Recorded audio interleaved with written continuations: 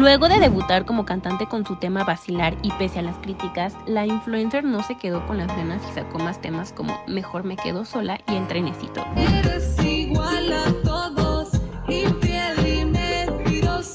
Aunque la experiencia se volvió a repetir, ya que sus temas se volvieron populares gracias a los dislikes, pues muchos al día de hoy aseguran que Kim no tiene talento para el canto. Pero luego estrenó una colaboración con su esposo Edwin Luna con el tema La persona correcta, representando un gran salto en su carrera, ya que esta canción sí tuvo gran aceptación. Es por ello que la guatemalteca no desaprovechó la oportunidad y ya anda promocionando sus giras.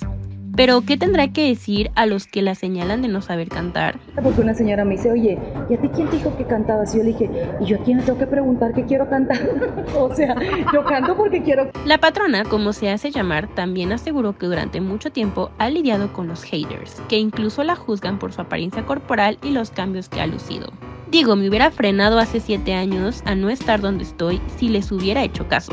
Yo sigo, no me digan que no haga algo porque lo voy a hacer al doble. En cuanto a la participación que tuvo Edwin en su carrera, Kim reconoció que ha sido un gran maestro e inversionista porque le ha financiado toda su carrera musical. Pues ya lo demás pues está de más, o sea, de críticas he vivido de años, que, que se puso, que no se puso, que se quitó. Finalmente se sinceró aún más diciendo que ella sabe perfectamente que no es una cantante profesional, pero que le echa ganas y eso es lo que cuenta.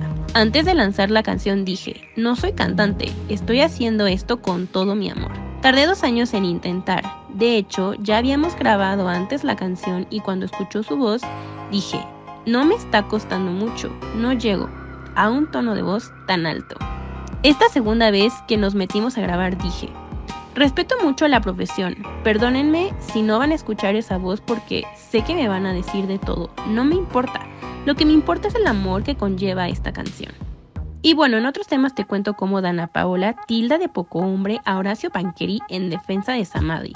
Así que si te lo perdiste, aquí te lo cuento todo.